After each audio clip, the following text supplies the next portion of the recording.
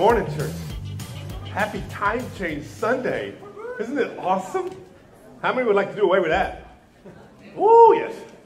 All right, let me ask you all a question here. Have you ever, be honest, okay? You're at Potter's hand, safe place, take the mask off, you're safe here, no judgment zone. God's word is good enough to do the judging, right? Have you ever convinced yourself that it was okay to buy something you didn't really need? Yeah, look, thank you for that hand up. Look at this honest. Yes, I see that hand. All right, good. We'll have the, let's just have the altar call now. We'll all confess this. I think we've all been there. Maybe we saw like our neighbor had something in his driveway and we said, Ooh, I got to have me some of that. Or he had his brand new El Toro John Deere in the backyard and we said, Got to give me some of that. Maybe we saw something on their hand or on their neck or something. We said, Man, and, we, and that, that eye of envy came up. We said, That looks awesome. I need some of that. Or maybe you just convince yourself you deserve it. Or it's been a rough week. And we have a rough week. What do we need? We need retail therapy, right? After all, you've earned it. it. Ain't nothing but a little shopping can't cure. Besides, you deserve it. But here's what happens the moment fades, and when we get home, that object that we just had to have has already lost not only its value, but it's lost its luster. Just a little bit, right? So what do you do? You think, you know what? I'll just go get something else. It's a cycle, right? Like, well, this has already lost its. It's kind of like that kid that just had to have the He-Man Castle Grayskull. Don't talk about $147 in 1986. Not saying it's a true story or anything, but let's just say hypothetically they, they buy that you're so excited you open it, but by the end of the night you're not even playing with that. You're playing with the box. You're building a fort with a 37 cent box. What we do? Our eyes start to look to and fro for that next gleamy thing, that next trinket, that next thing that we just have to have. And we go, we get it, and sure enough, we think we can recapture that moment of joy, but it falls short again. So we do it again. I mean, what is wrong with us? And I understand if a seven year old does that. But what about us 47 and 57 and 77 year old? We keep falling for the same lie. We think buying that one thing is going to be that easy fix. There's just one problem. It is so fleeting that it just does this over and over, and it's not a sustainable cycle. And once that temporary rush, that temporary joy fades, the truth is we are left holding the empty bag or the box or the empty blue Tiffany jewelry box. And we think, well, I don't know. I've just read about that. I've never had enough money to buy that, but I've heard it's impressive. And we look down and we think, what is going on? There are so, now here, here's the funny part, but it's also sad. There are so many people today who feel the pull for new stuff. They don't even have room to let go of the old stuff. You know what I'm talking about? People are literally drowning in stuff. This is a picture of my son's bedroom. This right here, this this is representing so much. Y'all, do you know what we do? Think about this. Okay, I want you to think how, how sick this is in our overly blessed country. We don't have room for our stuff, yet we buy more stuff, so we go and pay more money to rent a storage stuff place, and we forget that there's stuff in there. Y'all know there are TV shows about this? Where they go and they people have forgotten about their stuff that they're paying for, they stop paying rent, and so they cut the locks off and they sell their stuff to you, and people actually line up for this. Like, I don't have enough stuff. I'm to go buy somebody else's stuff. Sight unseen. Can't go in the locker. Oh, no, no, you'll be excommunicated from the club. Can't touch the stuff. You just got to buy it. Sight unseen. Y'all, there are so many storage places. They are popping up on every corner. They're like mattress warehouse shops. They're everywhere. And I don't understand who's buying all these mattresses. And I don't understand who's filling these lockers with stuff. I did some research on this. Are you ready for a fact? This is crazy. If we took all the storage facilities and put them side by side in the U.S., they would, this is amazing. They would fill a space 83 square miles. Well, that's the size of Las Vegas. With stuff. Stuff we don't even need. And we think about these material things and how much they distract us. It is this crazy cycle, but here's the problem. It not only hurts us, it can hurt our career, it can hurt our kids, it can hurt our marriages, it can hurt our testimony. But more importantly, it strangles us and it takes that margin away from us. And we're not able to do anything for God. We're not able to do anything for the kingdom. And Jesus shows up, and in Matthew chapter 6, he warns us against this behavior. Check it out with me. He says, Don't store up your stuff, my word, here on earth, where moths eat them and rust destroys them, where thieves break in and steal. Store your treasure in heaven, where moths and rust can't destroy, where thieves don't break in and steal. For wherever your treasure is, there the desires of your heart will be. And I don't know about you, I don't want my heart being trapped in somebody's stinky self storage locker, being auctioned off to the highest bidder. But that's what we, we do. It's crazy. We do this more in this country than anyone. This is why we are in this series called Making Space, where we want to make space to discover the keys in our finances. We can live the lives God is calling us to be. It is so hard to make space, though, if we are constantly bringing more stuff into our world into our room. Remember last week we looked at some of the keys to this, one of the ways to have more financial space. The first thing we have to understand is this key foundational truth. Everything I have belongs to God.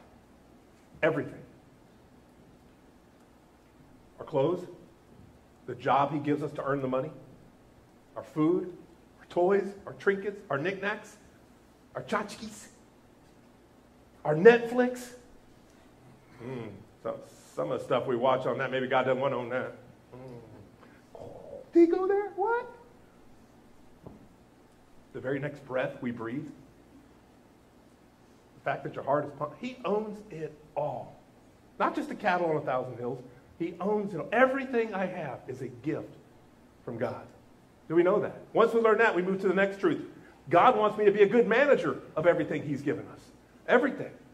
When we take the ownership responsibility off our shoulders and we put it where it belongs on God, we realize we're just the stewards. We don't have to be the owner. We're not the landlord. We're the tenant. And he gives us these things. And here's the great news, the third point God will reward good managers. This should make you excited. Not only will he reward you in this life, but he will reward you in the next. We see that we'll actually have positions and authority. And he says, You will reign with me. We forget about the millennial reign. We forget about the kingdom to come, the new heaven and the new earth. We think when we die, we become Casper and float around on a cloud and play harp. We don't do that. That's what Satan tries to paint a picture so it loses its luster. We don't live for the kingdom. But it is not going to be like that at all. You will be rewarded for your faithful stewardship right now. You are on the clock. That's awesome. Well, it should terrify us, but it should excite us at the same time. That is incredible. This week, we're going to dive a little deeper. And I want to ask you another question Do I really need stuff to make me content? So we're driving towards contentment. Do I really need stuff to make me happy, to make me content? And if so, then let me ask you another question. How much stuff do you really need before you say, oh, here's the line, not yet, not yet, not happy, not get. Now I'm content. Here I am. I made it. Where's that line? Because if you're honest, the line keeps moving, it keeps shifting. It's like a mirage. It'll never be enough. You're going to see some amazing quotes from some people who you think have it made. And when they open up their heart and they reveal a little bit, it is mind blowing. Y'all, we have an epidemic in our culture. I'm not talking about the coronavirus. I'm talking about stuffitis. I'm talking about affluenza. I'm talking about consumeritis, where we shop and we buy stuff, stuff we don't even need. But I have good news. You know, I always bring the good news with the harsh reality here. God has provided an off ramp off the crazy train. God has provided an off ramp to get off this crazy cycle of consumerism. And Paul hits it on the head. Look with me at the contentment passage, Philippians chapter 4. He says this I know what it is to be in need and I know what it is to have plenty. I have learned the secret of being content in any and every situation, whether I'm well fed or hungry, whether I'm living in plenty or I'm in want. Oh, that's incredible. Talk about maturity. Think about do you know the Greek word for content is also translated three different ways? Listen to these words. I want you to apply them to your life. Paul says, I have learned the secret. The word is translated as sufficient or adequate, or, I love this one, satisfied. Now be honest. It's just you and the Lord. Are you satisfied? Are you living a life fully centered and satisfied with what God has given you? See, here's, here's the major trick. What Paul is saying, and this, I know this is going deep really fast. This one's going to sting a little, okay? I'm giving you a heads up as your friendly neighborhood pastor. This one's going to sting a little. Paul is saying that Christian contentment is the ability to be satisfied with God's loving provision in any and every situation you're in. How you doing with that? Man, that is that hits me right between the eyes when I complain and say, God, why are you doing this? How come we don't have this? Why are we short here? How come the church is struggling for this? What, what is it? Paul learned this secret. He said the secret, if you are a Christian, is to walk in a daily knowledge of satisfied in front of the Lord that his loving provision is exactly what you need. Because he promised that. He said, look at the flowers. Look at the lilies. Look at all these things, man. They, they don't freak out and worry about these things. You know who does that? The pagans, the lost people. My children who know me, and we're not supposed to chase after those things. We're not supposed to have to worry about that. We're not supposed to have a worry line here, those deep frown things, because we're stressed out about that. Paul learned the secret. Contentment is a learned skill. This is awesome. This gives me hope. That means you're not born with it. You can't go, well, I'm just not a content person. The glass is always half empty. Oh, no, no, no, no. Contraire, mon frere. You get to learn this. This is a skill. I'm going to tell you something here. This is shocking, okay? It's a shocking statement. Our culture does not celebrate contentment. Do you know that? In fact, the culture pushes just the opposite. They don't want you to be content. Every commercial you see, every annoying autoplay ad on YouTube, everything you see popping up on your Instagram feed or on your Facebook is designed to tell you you are discontent. And you will find content. This is so twisted. You will only be content if you buy their thing. Did you, did you catch that? You are discontent. You're not content, but if you have my product, oh, then you'll be content. It goes around. If you just buy their stuff, their product, now you will have the promise of, of, of contentment. And we have been bought this lie. We, we buy into this that our value comes from the stuff we have or the, the people we know, that life's about me. And it, is so countercultural to be a Christian today to know our value doesn't matter from what we earn. It doesn't come from how many hours we put in, how much stuff, how flamboyant our vacay pics are up on the gram. It's none of that. Our value comes from God. He is so much more concerned, not with our status, but with the heart, the way we live our lives with godly contentment. And Paul says, I've learned the secret of that. So, what's the secret? What is Paul's secret? Come back next week and I will tell you. I'm just kidding. I won't do that to you. God has showed Paul something here, and it is amazing. How do you do this? There are three mental shifts we can embrace to move into a life of true contentment. The first one is this, and it's a doozy refuse to trade self for stuff. If you're a note taker, you're going to want that one. Refuse to trade self for stuff. Jesus was asked, actually asked a very powerful question. He comes up and he asks this incredible question about relationship to stuff. He says, What do you benefit if you gain the whole world but you lose your soul? Of course, we have certain needs that have to be met. Of course, there comes a point where everything has to be provided for. But sometime you cross a line where your happiness no longer increases with the stuff or even with the money. As we gain more, our concept of what a need suddenly begins to shift. And this is so insidious. It's like the evil emperor in Star Wars who's kind of manipulating behind the scenes. You don't even know it's happening. See, what used to be a want, a luxury, one day maybe we could have that when we had a little, now somehow becomes a need. And it's insidious, it creeps up, it happens. So, what is it that's driving these needs? Is it the fact that you are trying to live for somebody else? Is it your parents? They wanted you to go have this job, learn this career. Is, is it your spouse? Is it teachers? Is it, who is putting pressure on you to be successful in their eyes? What is it that is making us? Back in middle school, we fell for this when we didn't have the cool shoes. We couldn't sit at the cool table because we didn't bring enough Oreos to bribe our friends, and we were made fun of, and we were mocked. And I'm thinking, where did this lie come from? And then it hit me. We have given into envy and unhealthy ambition, where money and possessions and things are way now. We feel like we can prove we're hashtag winning, right? But here is the truth. As long as you confuse your self worth with your net worth, you will always be disappointed. Always. As long as you confuse your self worth with your net worth, you are going to be chasing the next dollar. And it is a brutal and a tiring way to live. And you know somebody who's trapped on that. Here's the latest stats I found. This is, this is incredible to me. The majority of Americans now spend 100% of what they make plus 3% more. it's finance. It's in debt. 103%. Thanks to people who do not have your best interest at heart, like the Lord does. Always chasing stuff, material things, and they're hurting people's marriages. Spending habits are what couples say is the leading reason for divorce now. Think about that. The average American works 47 hours a week. That extra time is time that is away from your family. It is away, taking you away from enjoying your relationship with God, takes you away from serving in your church or your communities. And doctors say 75% of the symptoms are brought on by stress. Man, that is a high cost. Y'all, that is no way to live for the believer. That is not wise. We're choose to walk in the, the counsel of the holy and the wise. The wisest man who ever lived wrote this. Look at Ecclesiastes 4. He says, Then I observed that most people are motivated to success because they envy their neighbors. But this too is meaningless.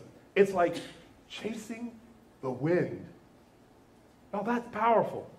What a, this is the guy who had the most money in history and the most wisdom. It's good to provide for your family. There's nothing wrong with working hard. He tells us to do that. But there is such a huge difference between working and wearing yourself out, chasing the wind, where you're never satisfied. What motivates us to work and what priority we give work is so critical. God wants us to have equal measure of rewarding hard work, which is good, and an equal measure of contentment and peace. So how are you doing with that? If you had to rate yourself today, where are you on this scale? In fact, let me ask this probing question. Why do you really do what you do?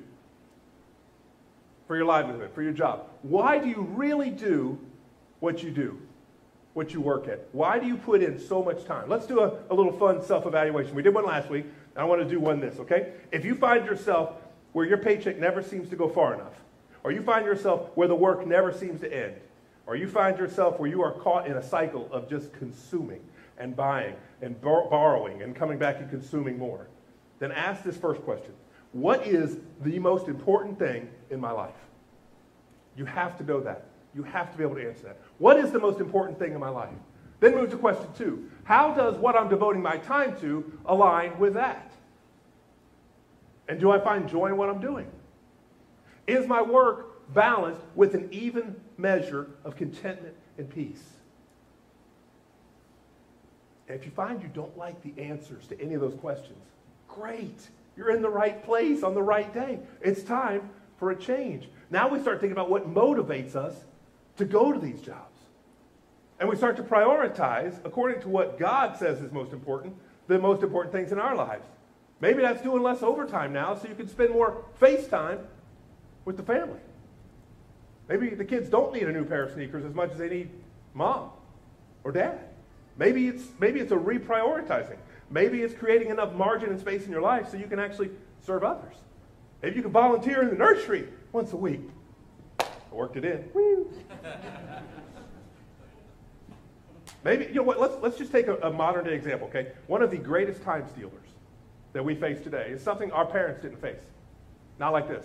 One of the greatest time stealers, and I might add, money leaks, is our entertainment consumption. This is incredible. I did some stat research on this. Maybe, in creative, eh, eh, maybe we can create a little space by let's just tackle one thing. This is just one, one idea our subscriptions. All right? How much does each subscription affect the quality of your life? I want you to look at these questions. And how often does your family really use it? Okay, this is just one simple example. Is there something free that you could replace one of your paid subscriptions with? How much extra money could you save if you chose to let one or two or four or five go? What would you do with that extra money? How would you feel if you canceled several subscriptions? Would that allow you more financial space to do something that honors God? Because you're being watched for your financial stewardship. Hear me. You will be rewarded for this time. This isn't the dress rehearsal. This is the show. Curtains open, you're on. So how you doing? Because he is aware of this. And maybe we can create some more financial space and do something that honors the Lord that will outlive us, that actually moths don't get to and thieves don't steal. Maybe it'll allow you to set up a regular contribution to some ministry that you have near and dear to your heart. If you don't have one, might I suggest your church? How about that? There's so many awesome things out there that a lot of good people are trapped like this because of poor decisions we made, and they can't. If God calls them to help a brother out, I can't because I've blown everything on myself. God spanked me about that many years ago, and it changed everything. There is nothing more rewarding than being able to surprise somebody or see some guy who comes in off the street, sit down at the table, and you call the waiter over and you say, That's on me. Don't tell them.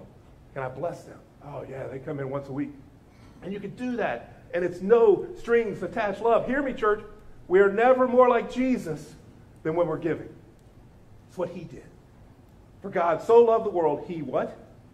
Gave. It's the very first thing. So the first thing, we need to tr- refuse to trade who we are for stuff. The next step, the next mental shift is about what drives you. What is your motivation? In other words, use money, don't chase it. Don't serve it. It's supposed to serve you. Let me ask you this question. How many have ever heard the phrase, money is the root of all evil? You ever heard that? That's not exactly what the Bible says. Did you know that? That is a gross misquoting of it. Like God helps those who help themselves. That's not even in the scripture. In fact, the way you read the Bible, it should say God helps those who can't help themselves. That is not what the verse says. Look with me very specifically what the verse says. It says, For the love of money is the root of all kinds of evil. That is drastically different than money is the root of all evil. And so many people who have chased after this have pierced themselves with so many sorrows. The Bible says it's the love of money. But money itself isn't the problem.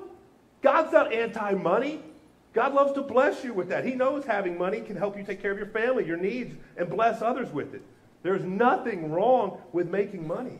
What God is concerned about is not us having it, but it having us. Where you are wrapped up in this. The problem is the love of money. God doesn't want us to be that guy. We all know that person who's done some stupid stuff because he's so blinded by his love for money that he goes off the cliff. We have family members like that. You do too. Where they're so blinded by it, they're making silly decisions. God is saying, don't fall in love with money. Rick Warren puts it like this I love it. He says, Your yearning power will always exceed your earning power.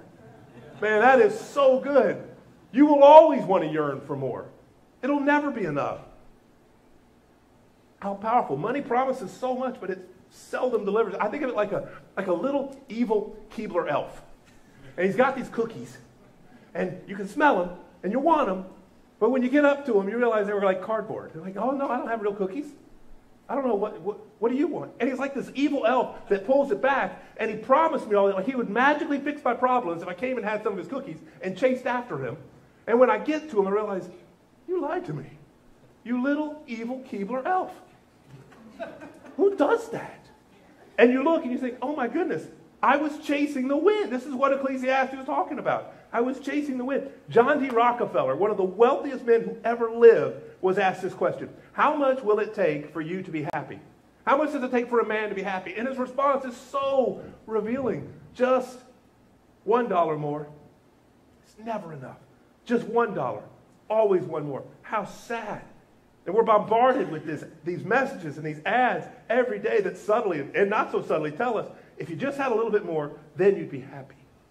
But if that were true, then the wealthiest people in the world would also be the happiest people in the world. And that's not true. If you've ever met some, you know they have insecurities and fear, and they put their trust in something that doesn't last, and they're just as miserable as people who have no money.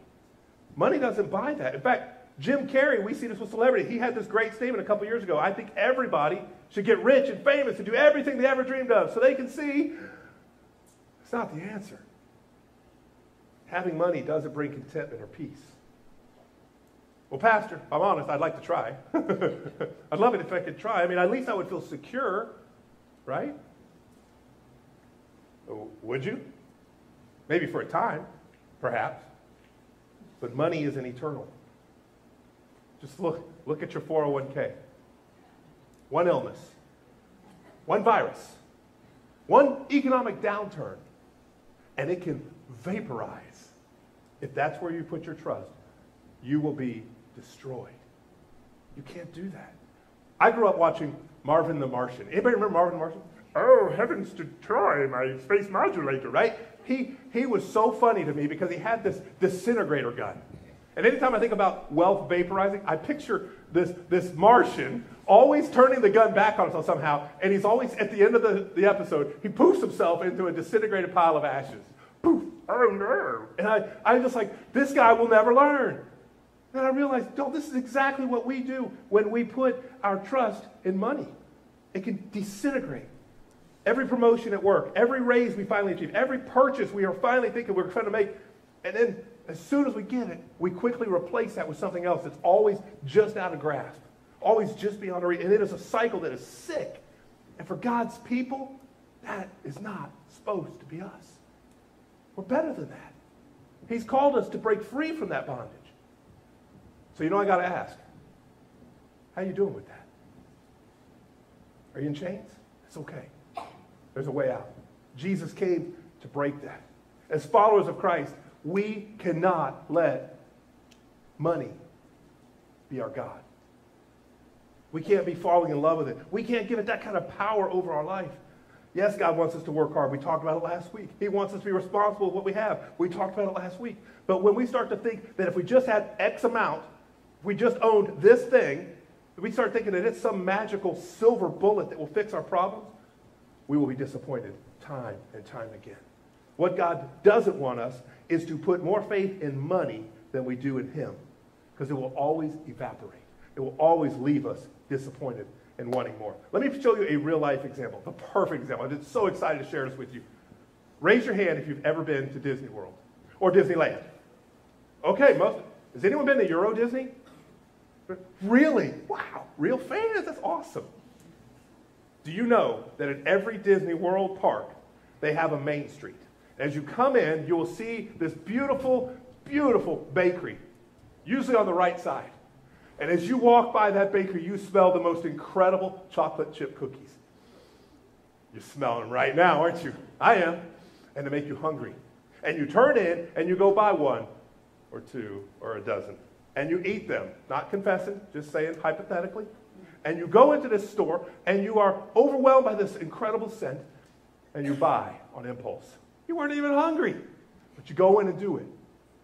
What if I told you you are not really smelling cookies? It's a fake.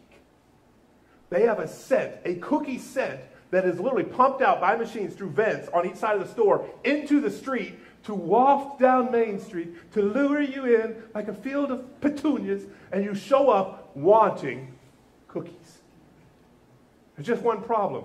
On one particular day at Disney World, the ovens broke. you, you're ahead of me. The ovens broke, and they had to shut them down until they could be repaired. Just one problem. They forgot to send the memo to the tech guy to turn off the scent wafting down the street. So, hapless guests paying a lot of money walking down Main Street, cookies, smelled it, and like zombies, turned into the store. Imagine their shock when they go up to the counter and they say, I want some of them cookies I'm smelling. They say, Oh, oh, we don't have any cookies. And they say, Yeah, you do, because we smell them.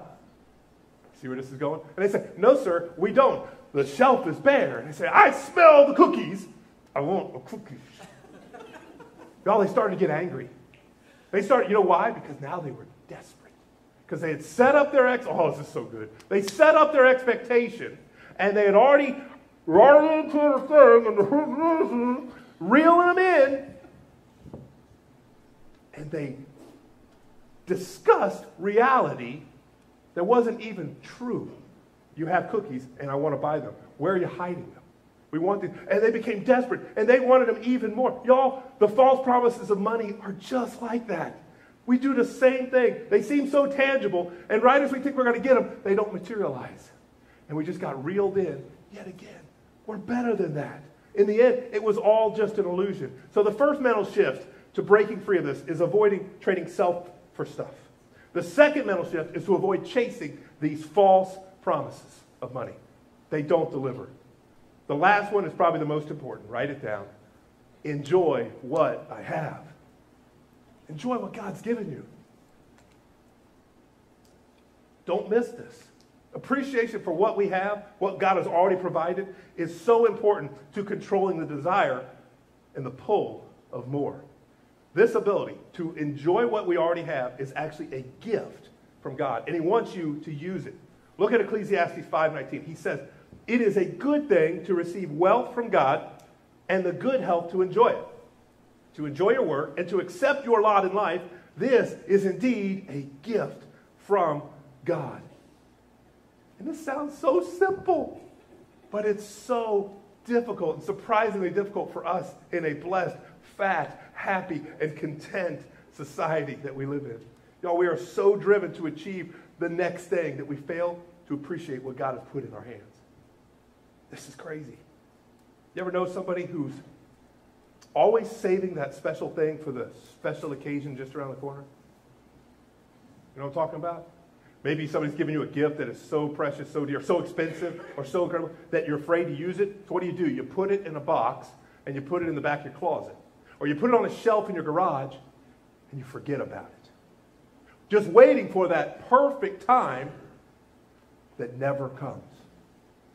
And then, guess what? Sometimes you go back and you discover, oh my goodness, the time has passed to use it. And now you can't even use it properly with the way it was intended. Y'all, we do this all the time we blow it, the chance to pop. The perfect opportunity is now to appreciate what God has given us. The fact that you are here today with air in your lungs, with a beating heart, sitting next to people who are able to have a hot shower, people who are able to buy clothes. Isn't it awesome? None of us are here naked. We're able to sit here and enjoy being in a free country where we can worship God. The fact that we can buy the clothes on our backs. How many people take that for granted? This is incredible. Y'all, growing up, we had one of these fancy rooms. I don't know if you have one a dining room. oh, yes, you got to love the 60s. Anybody grow up with a grandma that had one of these? Do you remember what would happen if you came to the threshold of that room? They had an alarm somehow embedded in their mind where that head would snap around and say, What are you doing, Eli? get away, right? And they would call you out. I just have to look at not Eli directly, but they would call you out. It was almost like they had like a, like a tripwire. You, what? I didn't go in the room. Don't even look in the room. What are you doing? Why are you breathing in that direction? Come away. They protected that room. Y'all know what? We never used that room. When we got married, one of the things they said, you got to have fine china and everyday china. You need to go register for thousands of dollars to find. Y'all, we never used the fine china. I don't even think we have it anymore. We probably gave it away for pennies on the dollar. But we had to have it. Do you see how ubiquitous this is? Y'all, it is everywhere. Enjoy what we have. How crazy is this? God doesn't want us to treat the good things He's given us and live this way, where we put it in a box and we fail to use it. He wants us to recognize them, to thank Him, to appreciate them, and to enjoy them. Stop waiting for the right time for you to be content. Hear me, Christian. We should be the most content people on the planet. We know the Savior. Not about this stuff. We know it's all going to be renovated with a holy fire. It's all going to burn. He's going to make a new heavens and a new earth. What are we doing? So, how do we tap into the gift of contentment? One word gratitude. Powerful word. Gratitude. I hope you are teaching your children this. This is so powerful. This changes our hearts from always wanting the next thing to focusing on what is right in front of us. And when you do that, it drains the power out of greed. It sucks out the, the allure out of envy. And it gives us a new joy and an appreciation for what is already in front of us. So you think, Pastor, that sounds good. How do I do that practically? First thing you do is you talk to the Lord about it. The first thing you say, Lord, would you help me be content?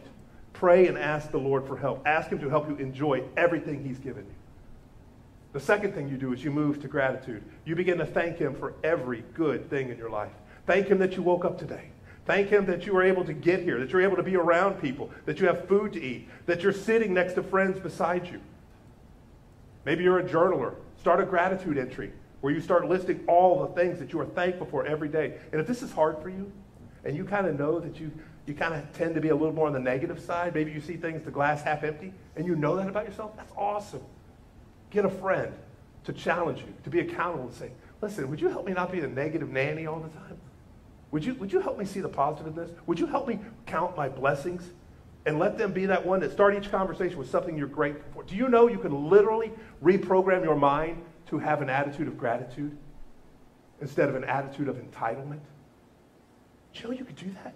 You can literally read at the end of the night, get your family together, start thinking of the specific things you are grateful to God for, and thank them. Y'all, we do this every night with our kids. It is awesome. Rather than just say, hey, what was the highlight of your day? We say, what are you thankful for?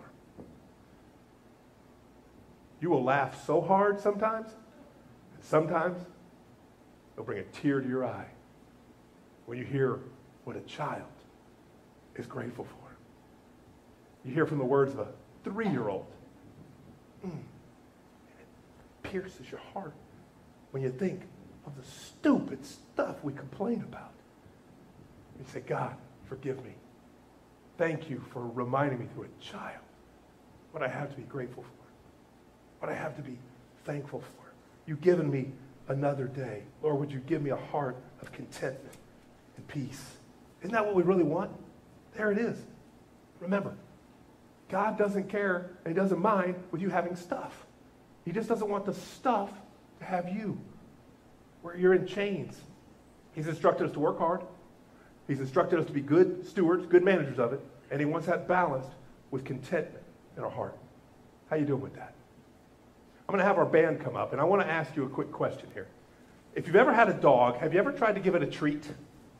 What does the dog do with that treat? Yes, it scarfs it up right away, does it? Like, home. And they don't even savor it. So what do we do? We get creative with the treat. We say, let's try this. I'm going to make the dog slow down and enjoy this. I'm going to put the treat right on his nose. Oh, don't act like you haven't done this. You know, don't, for shit. It's not my dog. You put the treat on the nose. You say, wait, wait, wait. And he's sitting there looking at a little drool. Okay, now.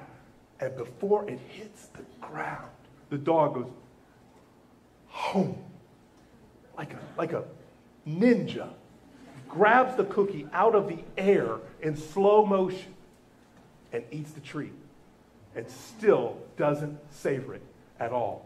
Y'all, it doesn't matter how many treats. You could stack several on the dog's nose and say, I want you to appreciate. And they will scarf it down, then they will have the audacity to look at you for more. Now, we don't ever do this. We just inhale it. All the blessings got to do, we don't stop to enjoy it and appreciate it. Y'all, you could stack 50 treats on a dog's nose and it wouldn't change it. We take zero time to savor and enjoy the treat of what God has given us today. So here's my challenge for you today. Does God want you to live a better way? Every moment of our lives is a gift from God, and He gives it to enjoy. What is He talking to you right now in your heart that you need to change? That you need to give to Him? God's here, He's speaking. Let's pray about it. Lord, I thank you for the power of your word. Lord, would you give us a heart of contentment? Help us to stop chasing the wind, to be splashing around in the kiddie pool when you have a giant ocean behind us. God, help us to go into the deep waters of your love and joy and peace and contentment and to be an example for so many that are looking for it. Forgive us for the times, Lord, that we should have been your best ambassadors and we were just like the crowd. God, you've called us to better than that. Help us to be faithful, to chase after you, not chase after the wind. Lord, break our hearts chisel through the stony, cold walls of indifference that we put up, maybe subtly, maybe brick by brick. We didn't even know it was there, but God, would you invade our space? Help us to create more margin that we can work with you, that you can use us as a tool in your hand. So, God, whatever it is today, Lord, beginning with us, not beginning out there with the lost, beginning with us, with people who wear your name, who call ourselves believers. Lord, would you change us and make us more like Jesus, who never once chased after things? God, help our priorities to be right. We ask this in your powerful name. Amen.